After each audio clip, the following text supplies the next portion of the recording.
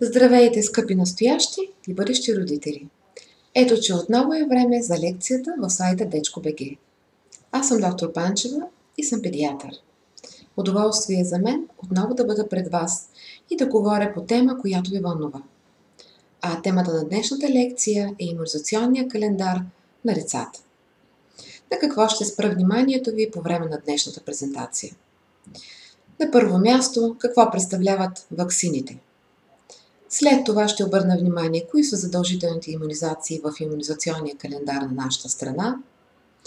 След това ще ви поговоря за това, кои са инфекциите, срещу които защитават съответните иммунизации. Ще се спра на страничните ефекти от иммунизациите и накрая ще приключа с отговори на ваши въпроси. А за днешната презентация те са многобройни. И така, какво представляват ваксините? Ако в един организъм попадне бактерии или вирус, причинител на определено заболяване, имунната, заболя... имунната система го разпознава и започва да произвежда субстанции, които са насочени срещу съответния бактерий или вирус. Тези субстанции се наричат антитела. А бактерият или вирусът играе ролята на антиген, срещу който са насочени тези антитела. Ваксините от своя страна съдържат умалмощени или умъртвени участъци от тези антигени, които причиняват заболявания. Това означава, че антигенът не може да доведе до признаци и симптоми на съответното заболяване, но може да стимулира имунната система, която от своя страна да започне да произвежда антитела срещу това заболяване. Тези антитела, които имунната система произвежда, помагат за предпазването от развитието на съответното заболяване. По този начин ваксините помагат на децата и на възрастните в последствие да бъдат здрави и да не се разболяват от съответните заболявания, които са много опасни за тях. По отношение на задължителните планови иммунизации и реимунизации, бих искала да обърна вниманието ви, че те са регулирани в нашата страна и са според иммунизационния календар на Република България, който е описан в Наредба 15 от 2005 година. А кои са те?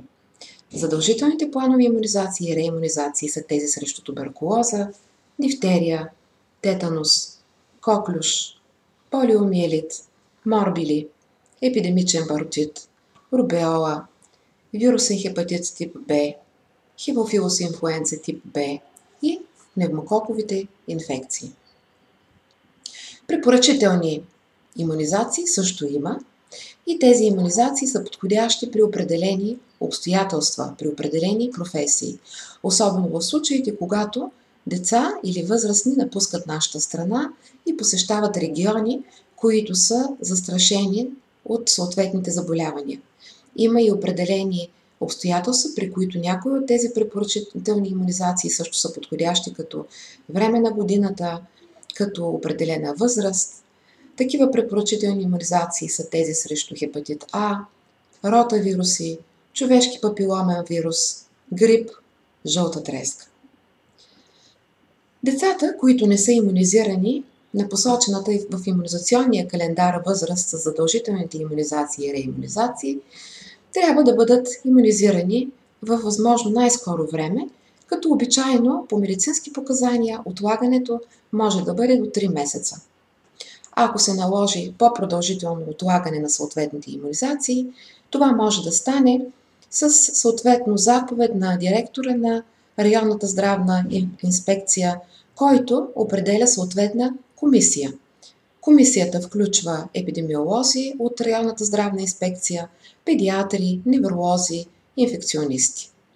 Председател на тази комисия е представител на районната здравна инспекция. Надзорът върху нежеланите реакции след вакцинации включва установяване, съобщаване, проучване на нежеланите реакции след вакцинация, както и тяхното отчитане. Затова ще се спрем малко по-подробно, след като опишем кои са най-честите заболявания, срещу които има съответни вакцини. Ще спра вниманието ви на първо място на вакцината срещу хепатит Б. И така, какво е хепатит Б? Хепатит Б е инфекция, която се причинява от вирус, който инфектира черния дроб. Хората, заразени с вируса на хепатит Б, може да нямат никакви симптоми много дълго време. Някои се оплакват от загуба на апетит, от повръщане, от гадене, от умора. Може да се появи и жълтеница, пожълтяване на кожата, на, на кожата и на очите. Заедно с това, колкото по-рано е заразено едно дете, толкова по-голям е рискът дългосрочно да се развие заболяване, което е доста неприятно. Например, цироза, в последствие е възможно да се развие и рак на черния дроб. Кърмачетата, заразени с вируса на хепатит Б, са по-предразположени към развитието на тези осложнения, отколкото по-големите деца или възрастните. Какъв е рискът детето ви да се разболее от хепатит Б? Много често срещано погрешно схващане е, че вирусът на хепатит Б се разпространява само при сексуален контакт между възрастни. Истината е, че децата също може да се заразят от вируса на хепатит Б последните няколко начини. Ако майката, която е родила детето си, е заразена с вируса на хепатит Б, тя може да предаде инфекцията на бебето си по време на раждането. Кърмачетата и малките деца, делящи един дом с болен от хепатит Б, също може да се заразят от болестта. Вирусът се предава също чрез четки за зъби, кърпи за лице и ръце, както и чрез ползването на общи ножички за рязане на ногти. Кърмачетата и малките деца, които са в контакт с болен извън дома, например другарче в игрите, роднина или приятел на семейството, може да се разболеят от хепатит Б също. Тъй като повечето хора разпространяват вируса на хепатит Б без да знаят, често хората, които са носители, не могат да предположат, че са заразоопасни за останалите. Друг начин, чрез който се предава хепатит Б, е чрез кръвни продукти, биопродукти или чрез манипулации зъбни, при които не са стерилизирани добре инструментите, които са ползвани при съответните манипулации. Страната ни задължителната иммунизация срещу заболяването е започнала през 1992 година, т.е. преди повече от 20 години. Благодарение на тази иммунизация, заболеваемостта сред иммунизираното население намалява с над 90% по данни на Националния център за заразни и паразитни болести. Какво представлява вакцината срещу хепатит Б? Вакцината срещу хепатит Б се синтезира, като се отделя протеиновата обвивка на вируса, наречена повърхностен протеин на хепатит Б, а имунитета към този протеин предпазва децата от заразяване с вируса. Има ли странични ефекти тази вакцина? Обичайно страничните ефекти към вакцината, вакцината са твърде леки. Може да има болка, зачервяване, чувствителност на мястото на поставянето на инжекцията. Макар и рядко, вакцината срещу хепатит Б може да причини повишена температура, а в редки случаи и реакция на свръхчувствителност, алергична реакция. Изчисленията са, че подобен вид страничен ефект може да има при всеки един на 600 000 души с поставена вакцина. Симптомите могат да включват уртикария, обрив или ниско кръвно налягане и обикновено се появяват до 30 минути след поставянето на вакцината. Втората инфекция, на която ще спра вниманието ви е пневмококовата. Какво представляват пневмококите? Пневмококите са бактерии и са най-честия причинител на тежки бактериални инфекции при кърмачета и малки деца. Тези инфекции включват менингит, възпалението на обвивката на главния гръбначния мозък, кръвни инфекции, известни също като сепсис, пневмонии, т.е. инфекции на белите дробове. Пневмококите също така са едни от най-честите причинители на ушни и синусни инфекции. Какъв е рискът детето да се зарази от пневмококи? Конюгираната пневмококова вакцина се използва за първи път в САЩ през 2000 година. Преди въвеждането на вакцината, всяка година пневмококите са предизвикали, предизвиквали 1400 случая на менингит, 17 000 случая на сепсис, 70 000 случая на пневмонии и около 5 милиона ушни инфекции при малки деца. След въвеждането на тази иммунизация, тези стойности са станали твърде ниски. Какво представлява пневмококовата вакцина? Пневмококовата вакцина се синтезира като се взема полизахаридната, т.е. въглехидратната обвивка от бактериите и се свързва с полезен протеин. Имунитетът към полизахаридите предпазва децата от развитието на съответната инфекция. Във вакцината са събрани няколко вида пневмококи. Въпреки, че съществуват около 90 различни вида пневмококи, във вакцината се съдържат само най-честите и тежки причинители на заболявания при бебета и малки деца. Има ли странични ефекти тази вакцина? Да, тя може да предизвика лека болка, зачервяване и чувствителност на мястото на поставянето на инжекцията, както и леко повишена температура. Сега ще спра вниманието ви на дифтерията. Бактерият, който причинява появата на причинява дифтерията, води до образуването на дебела фиброзна мембрана на задната стена на гърлото. Благодарение на нея се затруднява преглъщането и дишането. Също така бактерият произвежда вреден протеин, токсин, който поразява сърцето, бъбреците и нервната система. Около едно на всеки 20 деца, боледуващи от дифтерия, умира от задушаване, сърдечна недостатъчност или парализи. Дифтерията е силно заразна и се разпространява чрез кашляне и кихане. Какво представлява вирусът? Какво представлява ваксината срещу дифтерия? Ваксината срещу дифтерия се синтезира от дифтериен токсин, дезактивиран с помощта на определено вещество. В края на процеса веществото се отмива, като остава след себе си единствено пречистен дезактивиран токсин, известен под името токсоид. Токсоидът е много ефективен за защита на децата от дифтерия. Тъй като имунитета към дифтерия се губи с времето, вакцината срещу него следва да се подновява на всеки 10 години, в комбинация с вакцина срещу тетанус. Има ли странични ефекти вакцинацията? Да, при някои деца поставянето на вакцината срещу дифтерия предизвиква локални реакции като болка, зачервяване или чувствителност на мястото на поставянето на инжекцията.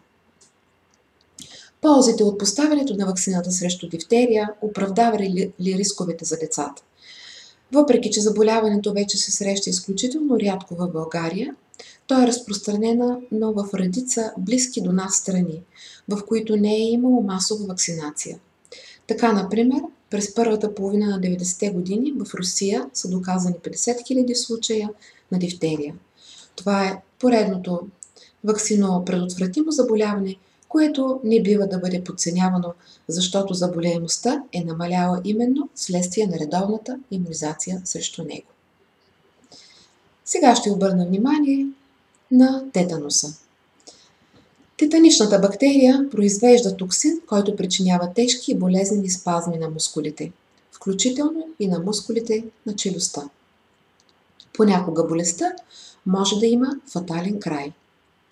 Мускулните спазми на гърлото може да блокират трахеята и да причинят моментална смърт от задушаване. Също така токсинът ти може да предизвика тежко и трайно увреждане на сърцето. Трима от всеки 10 души, които се разболяват от тетанус, умират от болестта. Бактерият, предизвикващ тетанус, се намира в почвата и може да влезе в кожата след порезни или прободни рани, особено ако те са по-дълбоки. Тъй като този бактерий винаги ще присъства в почвата, рискът от заразяване с тетанус няма как да намалее във времето. Какво представлява вакцината срещу тетанус? Ваксината срещу тетанус се изработва по същия начин като ваксината срещу дифтерия. Тъй като имунитета срещу тетанус се губи с времето, препоръчително е децата и възрастните да си поставят ваксина през интервал от 10 години. Заедно с това, ако детето ви получи дълбока прободна рана и от последната вакцина срещу тетанус са изминали повече от 5 години, се препоръчва прилагането на подсилваща доза. Има ли странични ефекти тази вакцина? При някои деца поставянето на вакцината срещу тетанус предизвиква локални реакции като болка, зачервяване или чувствителност на мястото на поставянето на инжекцията. В редки случаи вакцината срещу тетанус може да предизвика и свръхчувствителност, алергична реакция. Тази реакция се появява при около едно на всеки 1 милион вакцинирани деца. Симптомите включват копривна треска, обрив или ниско кръвно налягане и обикновено се появяват до 30 минути след поставянето на вакцината. Вакцината срещу тетанус, макар и рядко, може да причини болезнено подуване на ръката няколко часа след инжектирането. Тази реакция се среща предимно при възрастни, които са получили повече дози от вакцината. Следващото заболяване, на което ще спра вниманието ви, срещу което има вакцина, е коклюш. Бактерият, причиняващ коклюш, произвежда няколко токсина, предизвикващи натрупването на гъста, лепкава слуз в трахеята на детето. Това от своя страна води до болезнени спазми и кашлица. Когато детето диша през теснената трахея, се чува специфичен звук. Ето защо коклюшът е известен също и като магарешка кашлица. Спазмите на кашлицата затрудняват дишането, храненето и пиенето на течности при децата. Бактериите, причиняващи коклюш, може също да предизвикат появата на пневмония, припадъци и трайно увреждане на мозъка. Какъв е рискът детето ви да се разболее от коклюш? В САЩ, например, са регистрирани 18 000 случая на коклюш и от 15 до 20 деца от тези умират от болестта всяка година. Трябва да се има предвид и това, че повечето случаи на коклюш не се докладват. Смята се, че в около 5% от случаите на възрастни с кашлица, продължаваща повече от 5 дни, става дума за коклюш. Това означава, че стотици хиляди тинейджери и възрастни се разболяват от коклюш всяка година. Малките деца обикновено се заразяват с коклюш от възрастните, които кашлят. Ето защо децата, които не са иммунизирани срещу коклюш, са изложени на висок риск от заразяване. Какво представлява вакцината срещу коклюш? Вакцината срещу коклюш се произвежда по същия начин като вакцината срещу дифтерия. Тъй като имунитета срещу коклюш се губи с времето, наскоро Световната здравна организация въведе нови препоръки към държавите за иммунизацията на юноши и възрастни. Изработена е нова вакцина, която се препоръчва за юношите на 11-12 години и за възрастните, като следва да се поставя с цел подсилване на всеки 10 години и предотвратяване заразяването на бебета, които не са развили още имунитет към заболяването. Има ли странични ефекти вакцината срещу коклюш? При някои деца поставянето на вакцината предизвиква локални реакции, като болка, зачервяване, чувствителност или подуване на мястото на инжекцията. Може да се появят и леки реакции, като повишена температура, сънливост и раздразнителност. Ваксината срещу коклюш може да причини и по-сериозни реакции, като висока температура, неутешим плащ, продължаващ повече от 3 часа, както и тежка отпадност и сънливост. Всички тези тежки реакции са много редки. Засягат само едно дете на всеки 10 000 поставени дози. Сега ще спра вниманието ви на хемофилус инфлуенца тип Б. Хемофилус инфлуенца тип Б е бактерий, който разболява най-често кърмачета и малки деца. Той причинява менингит, кръвни инфекции и пневмония. Около едно на всеки пет деца, които преболедуват менингит, причинен от хемофилус инфлуенци, остават умствено изостанали, глухи, слепи или с намалени на възможност за обучение. Какво представлява вакцината срещу хемофилус инфлуенция тип Б? Вакцината срещу хемофилус инфлуенция тип Б се приготвя по същия начин като пневмококовата вакцина. Има ли странични реакции? При някои деца се появява болка, зачервяване, чувствителност на мястото на инжектирането или повишена температура след поставянето на вакцина срещу хемофилус инфлуенце тип Б. Следващата инфекция, на която ще спра вашето внимание, е тази, която причинява полиомиелит. Полиомиелитът се причинява от вирус, който обикновено разболява децата. Резултатът най-често прилича на лека чревна инфекция.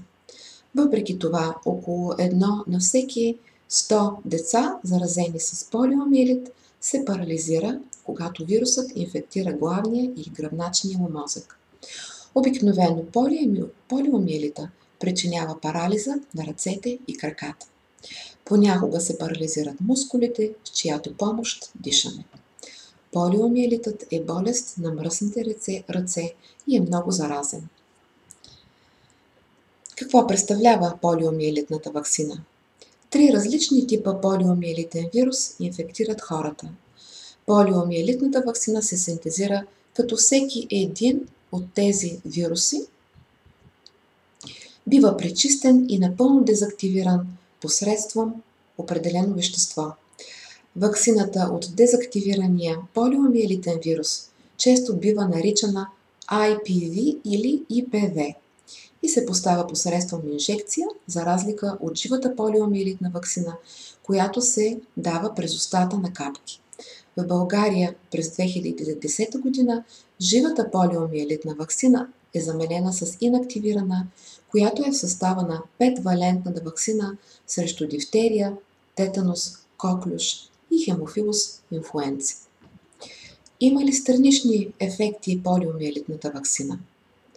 При някои деца поставянето на полиомиелитна вакцина предизвиква локални реакции като болка, зачервяване или чувствителност на мястото на инжектирането. Следващата инфекция, на която ще спра вниманието ви, е морбили. Какво представлява морбили? Вирусът на морбили обикновено разболява малките деца. Децата с морбили кашлят, имат хрема, висока температура, зачервяване на очите, обрив, който започва от лицето и се разпространява към останалата част от тялото. Вирусът на морбили може да зарази белите дробове, предизвиквайки пневмония, мозъка, предизвиквайки менингит, и всичко това може да доведе до трайни мозъчни увреждания. Морбили е силно заразно заболяване и се разпространява чрез кашляне и кихане. Има ли странични ефекти вакцината срещу морбили? При някои деца поставянето на вакцината предизвиква локални реакции, каквито са характерни и за другите вакцини. Заедно с това, вакцината срещу морбили може да предизвика повишена температура или обрев при около 5 до 10% от вакцинираните. Всичко това може да се случи в, в разстояние на 8 до 10 дни след поставянето на вакцината. Вакцината срещу морбили може също така да редуцира, да намали броя на кръвните клетки тромбоцити, които участват в съсирването на кръвта. Тази реакция е изключително рядко срещана и се появява при 1 на 24 000 деца. Не води до смърт или продължителна хоспитализация. Следващата инфекция, на която ще спра вниманието ви е заушка или паротит. Какво представлява паротитът? Вирусът на паротита обикновено разболява деца и предизвиква болезнено подуване на жлезите, разположени пред и под ушите. Вирусът инфектира лигавицата на главния и гръбначния мозък, т.е. причинява менингит и може да доведе до трайно загуба на слуха. Заедно с това вирусът на паротита може да причини възпаление на тестисите и на панкреас. Паротитът може да инфектира плода в първия триместър на бременността и да предизвика смъртта. Също така, инфекцията може да стане причина за стерилитет при момчетата. Какво представлява вакцината срещу паротит? Вакцината срещу паротит се синтезира по същия начин, както вакцината срещу морбили. Има ли странични ефекти? При някои вакцини деца при децата При някои вакцинации се наблюдават локални реакции, както и при останалите вакцини. А сега ще поговорим за рубеолата. Рубеолата се причинява от вирус, който обикновено разболява децата и причинява подуване на железите зад ухото, лек обрив и повишена температура. Рубялата обикновено протича без осложнения при малките деца. Ако обаче бременна жена се зарази с рубеола, вирусът може да причини трайни и тежки вродени дефекти на плода, както и спонтанен аборт. Какво представлява вакцината срещу рубеола? Вакцината срещу рубеола се синтезира по същия начин като вакцината срещу морбили. Има ли странични ефекти? При някои деца поставянето й предизвиква локални реакции като болка, зачервяване, чувствителност на мястото на инжектиране. Вакцината може да предизвика краткотрайно подуване на малките стави – артрит. Артритът, причинен от рубиолата, е временно оплакване и се среща предимно при вакцинираните подрастващи момичета и жени. Реакцията е много рядко срещана при деца. Това са основните инфекции, на които исках да спра вашето внимание, тъй като те са инфекции, които могат да бъдат профилактирани с съответните вакцинации, по имуниза... следвайки задължителния иммунизационен календар, прият в нашата страна. Ще спра вниманието ви още малко на страничните реакции към съответните вакцини. Надзорът върху нежеланите реакции след вакцинация включва установяване, съобщаване, проучване на нежеланите реакции след вакцинация, както и тяхното отчитане. Този надзор се осъществява от Националната комисия за надзор на нежеланите реакции след вакцинация. Тази комисия събира ежемесечно данни, анализира тези данни от извършените от районните здравни инспекции, проучвания на възникналите нежелани реакции след вакцинация в страната и оценява причинно-следствената връзка при всяка една от тях.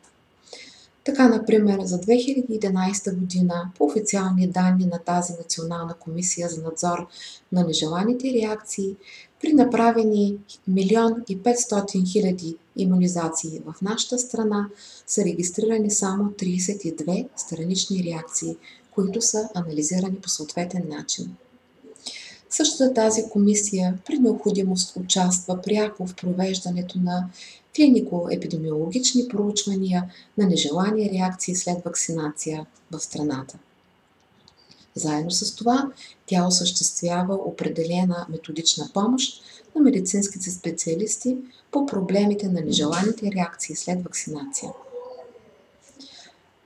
Тежките реакции след вакцинация трябва да бъдат съобщавани от личните лекари до съответните районни здравни инспекции. Какви могат да бъдат съответните тежки реакции след вакцинация? Те могат да бъдат локални и общи реакции.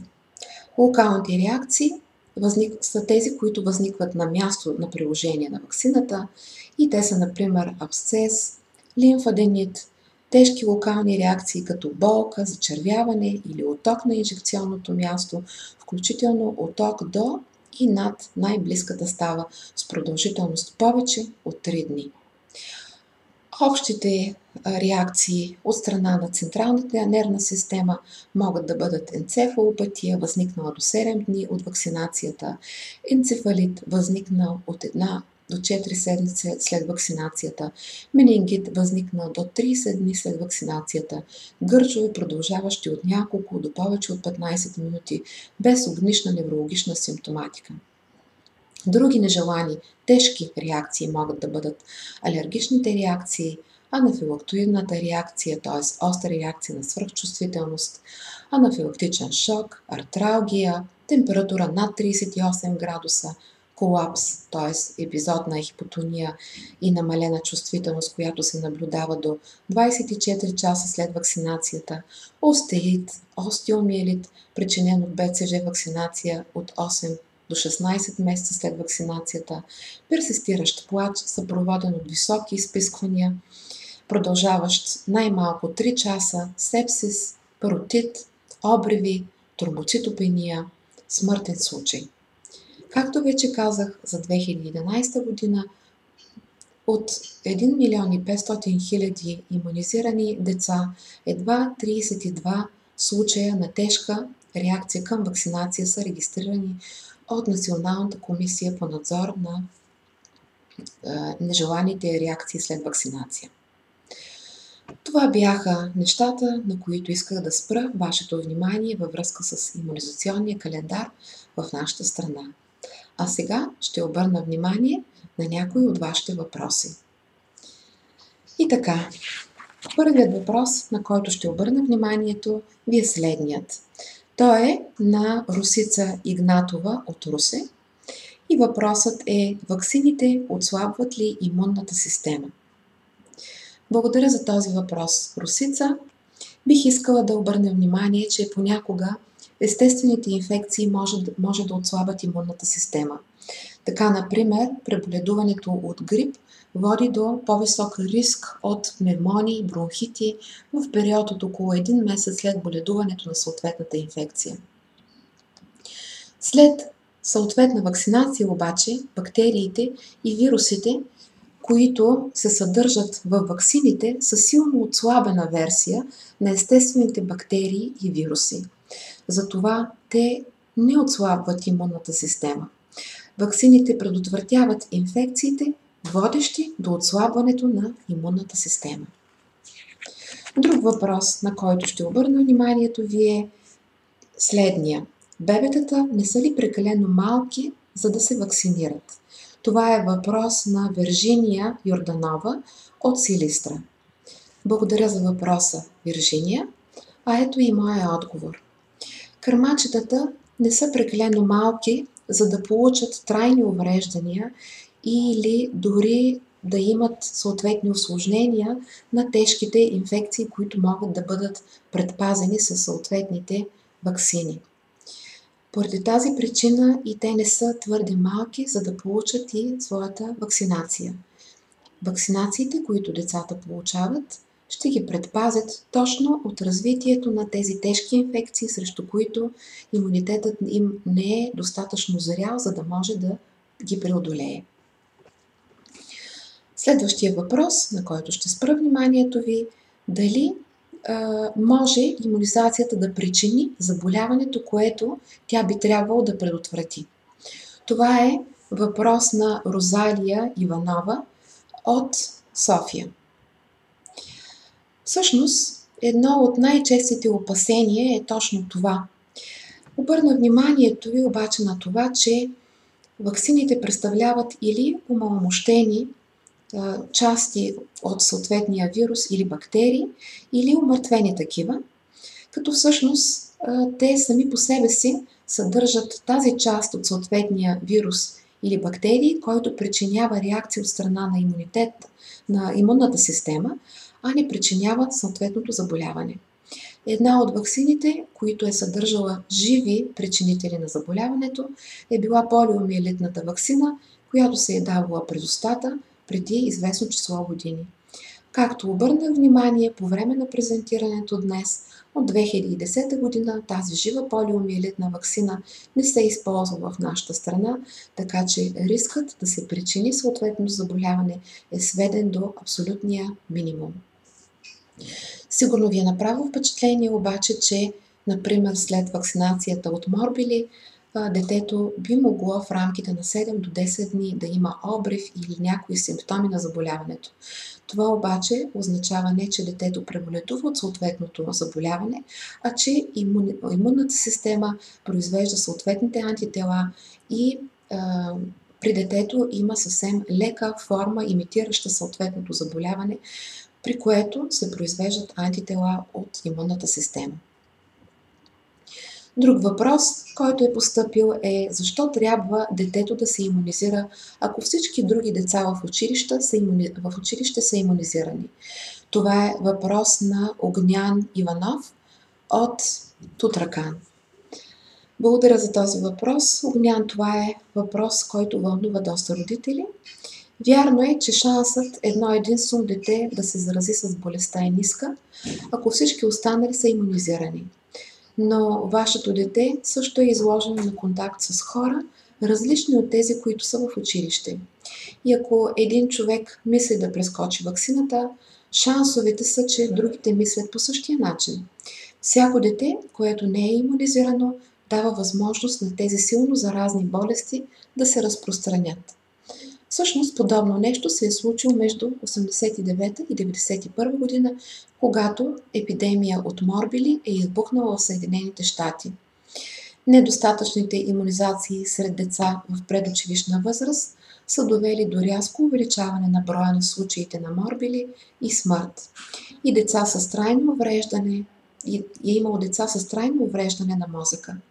Дори през първата половина на 2008 година броят на случаите на морбили в Съединените щати е бил повече от два пъти от съпоставими периоди в последните години. Повечето от случаите са сред хора, които не са били вакцинирани. Подобни огнища на магарешка кашлица или коклюш е имало и в Япония, и в Великобритания през 70-те години. Заедно с това бих искала да обърна вниманието ви, че по официални данни в нашата страна, последната епидемия от морбили в нашата страна беше 2009-2010 година, когато са регистрирани повече от 24 000 случая в страната ни. 24 от тези случаи са били смъртоносни. Всичко това се свързва също с това първо, че има определен, определен пик на заболемостта от съответните инфекции периодично през годините и заедно с това с определено намаляване през периоди от време на иммунизациите срещу съответните а, причинители, болесотворни причинители. Въпреки, че вакцинационният процент официално е доста висок в нашата страна, няма надежден начин да знаем дали всяко дете, с което вашето дете огнян е било в контакт, е било вакцинирано, особено сега, когато толкова много хора пътуват и до други страни. Така че най-добрият начин да се предпази детето ви е чрез иммунизация. Следващия въпрос е следния. Защо трябва да се подложи детето ви на болезнена инжекция, ако ваксините не са 100% ефективни?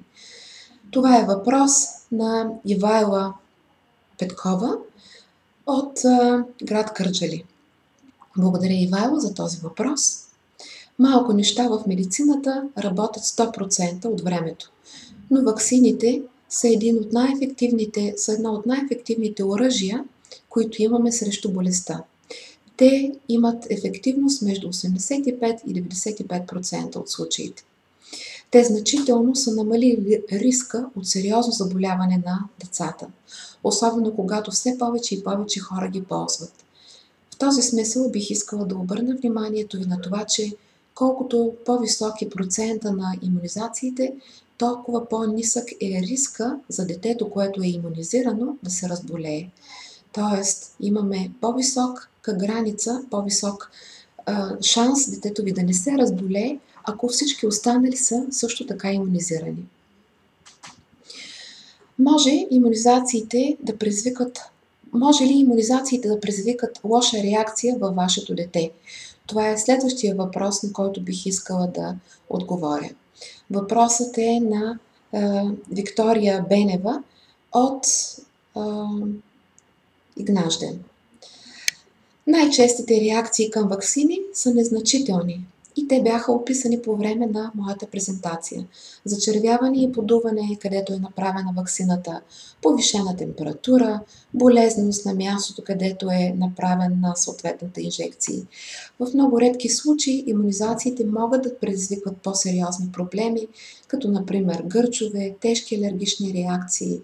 Ако детето ви има данни за алергия в семейството или то самото проявява алергични реакции към храна или медикамент или е имало проблем с вакцини преди това, е добре всичко това да бъде споделено с вашия лекар, защото могат да бъдат взети допълнителни предпазни мерки, за да се сведе до минимум съответната алергична реакция. Така, например, в случаите, в, когато, в които в семейството има данни за алергия, е добре детето да бъде допълнително профилактирано с някой антихистаминов препарат, за да се сведе до минимум реакцията към съответната вакцина. Заедно с това бих искала да обърна внимание, че научните изследвания непрекъснато подобряват безопасността на иммунизациите. някои световни организации, каквито са Американската академия по педиатрия, съветват лекарите да се използват вакцини срещу дифтерия, тетанус, коклюш и вакцина, която включва само специфични части от коклюшните клетки, вместо цяла убита клетка. Такава е и вакцината в нашата страна. Тази вакцина, наречена дифтерия тетанус коклюш с ацелуарна компонента, е свързана с още по-малко странични ефекти. Следващия въпрос, на който бих искала да отговоря е следния. Смятате ли, че иммунизации или тимеросал причиняват аутизъм? Това е въпрос, който вълнува много родители през последните години. Заедно с това има многобройни проучвания, които не са открили никаква връзка между ваксините и аутизма. Аутизма, знаете, е разстройство на развитието, което се характеризира с леко до тежко увреждане на комуникационните и социалните взаимодействия и умения. По същия начин доклад от 2004 година на Американския институт по медицина установи, че тимерозала, това е органично живачно съединение, което е било използвано като консервант във ваксините от 1930 година насам, не предизвиква аутизъм. И все пак, някои родители се, избират техните деца, деца да не бъдат иммунизирани, което ги излага на по-голям риск от заразяване с смъртоносни болести. Ваксината срещу морбили, паротит и рубеола е една от ваксините, които са попаднали под огъня, въпреки много научни доклади, показващи, че няма ясни доказателства, свързващи ваксината с аутизма. В действителност, през 2004 година е приключило дълго оспорвано проучване от 1998 година, което предполага възможната връзка между аутизъм и вакцината против морбили, паротит и рубеола. Дори преди приключването му са направени други проучвания, които са били с подобен дизайн, направени по подобен начин, като това спорно проучване от 1998 година, които, които проучвания са показали, че няма връзка между ваксината срещу морбили паротит рубеола и отключването на аутизъм. Дори преди приключването на това проучване, световни организации като Американската академия по педиатрия, Националния институт по здравеопазване на САЩ, Центъра за контрол и превенция на заболяванията в САЩ, както и Световната здравна организация потвърждават липсата на връзка между иммунизацията и аутизма. Също така и няма причина да се смята, че тимерозала е свързан с аутизъм, според доклада на Американския институт по медицина от 2004 година. Независимо от това, в опит да се намали излагането на децата на живак и други тежки метали, тимерозалът е започнал да се отстранява от детските вакцини през 1999 година. Сега вакцини, предназначени за кармачета и малки деца, са без или с изключително минимални следи тимерозал. Последните проучвания не са показвали каквито и да са когнитивни и поведенчески проблеми при бебета, които биха могли да се получат вследствие тимерозал, съдържащи вакцини. Нещо повече. Частотата на аутизма се повишава през последните години. Това са данни на всички световни организации, които работят в тази област. Частотата обаче на иммунизациите не нараства. Например, в Лондон диагнозата на децата с аутистични нарушения е във възход от 1979 година насам, но частотата на вакцинацията против морбили паротит рубиола не се е увеличила – тъй като рутинната вакцинация против тези заболявания е започнала през 1988 година. В допълнение, средната възраст на диагностициране на аутизъм е установено, че е същата както при деца, които имат иммунизация и които не са получили тази вакцина.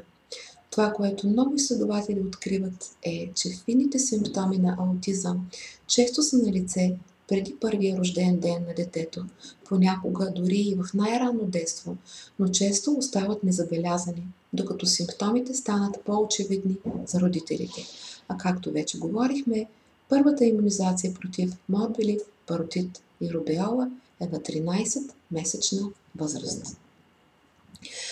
Защо детето ви трябва да бъде иммунизирано, ако болестта е ликвидирана? Това е следващия въпрос, на който бих искала да обърна вниманието ви. Въпросът е на Станиела Порожанова от Варна. Болестите, които са редки или несъществуващи в някои части на света, все още съществуват в други части на света. Лекарите продължават да вакцинират срещу тях, защото е лесно да се влезе в контакт с тези болести чрез пътуване. Това включва всеки, който не може да бъде правилно иммунизиран и който идва от друг регион, както и за хора, които пътуват в тези части на света, където определени заболявания са по-често разпространени. Ако частотата на иммунизациите падне, болест донесена от някой, който посещава друга страна или се завръща от дома от чужда държава, може да причини сериозно заболяване в незащитените хора. Така, например, в нашата страна имаше епидемия от морбили през 2009-2010 година, за която вече споменах. Последният въпрос, на който ще спра вниманието ви е колко продължава имунитетът след вакцина. Този въпрос е от Русица Георгиева, отново от Варна. Няколко вакцини, като тази за морбили и хепатит Б, може да създадат имунитет за целия живот. Други, като тази срещу тетанус, могат да са ефективни за, годино, за години, но изискват периодична инжекция или бустери за продължаване защита срещу заболяването. Магарешката кашлица коклюш също вакцината срещу нея също не дава през целия живот имунитет и може също да е една от причините защо все още има огнища на болестта в света. И въпреки, че коклюшът не е сериозен проблем за по-големите деца и възрастни, той може да бъде проблем за кърмачета и малки деца. Ако също така правите иммунизации против грип, който е която е една от препоръчителните иммунизации при определени групи от населението, в това число при някои деца. Имайте предвид, че ако детето е било иммунизирано една година, това няма да го защити през следващата година, тъй като грипните вируси се променят непрекъснато. Ето защо вакцината се обновява всяка година, за да се включат най-актуалните щамове на вируса. Това бяха въпросите които постъпиха днес във връзка с лекцията Имунизационен календар при децата. Благодаря за вашето внимание. Радвам се, че можах пред вас да изтъкна някои важни моменти във връзка с иммунизациите на децата. Вярвам, че за нашите деца това е възможно най-подходящия начин за предпазване от някои тежки и все още срещани заболявания. Пожелавам ви всичко най-добро Дано децата ви бъдат живи и здрави, приятна вечер и до нови срещи!